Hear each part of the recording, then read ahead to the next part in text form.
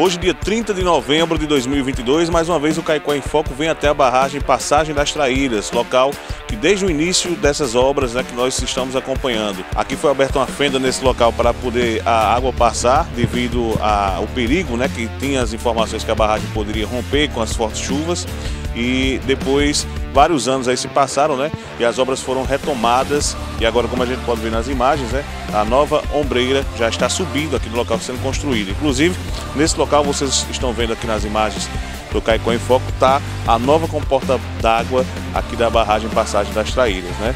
É, inclusive, recentemente o prefeito Amazônia Jardim do Cidó esteve aqui querendo já que essa comporta fosse fechada para que nas chuvas desse final de ano 2022 início de ano 2023 a barragem já possa armazenar uma certa quantidade de água. Nós vamos mostrar para vocês várias imagens aqui de como se encontra o andamento da obra, em torno de 60%, segundo algumas informações que nós obtivemos. É, está sendo feito também na parte é, interior né, da parede a construção de uma nova camada de concreto. Enfim, vamos mostrar para vocês, acompanhar aqui no nosso canal como se encontra agora já no final aí do ano 2022 a obra da barragem Passagem das Traíras.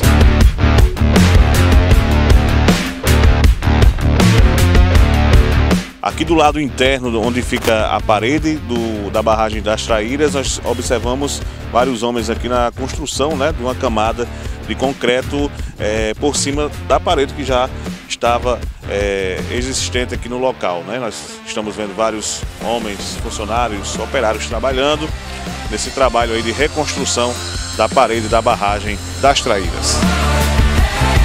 Uma nova camada também do concreto já foi colocada em todos os batentes aqui do local que fica a sangria, né, onde transborda a barragem. Aqui quando a ombreira estiver já concluída e a barragem voltar a transbordar, a água vai passar por aqui neste local. A barragem Passagem das Traíras com cerca de 60% de sua obra já concluída e nós aqui da região do Seridó esperamos que realmente com um bom inverno e essa obra pronta nós possamos ter novamente é, a visão né, da maravilhosa sangria da barragem Passagem das Traíras.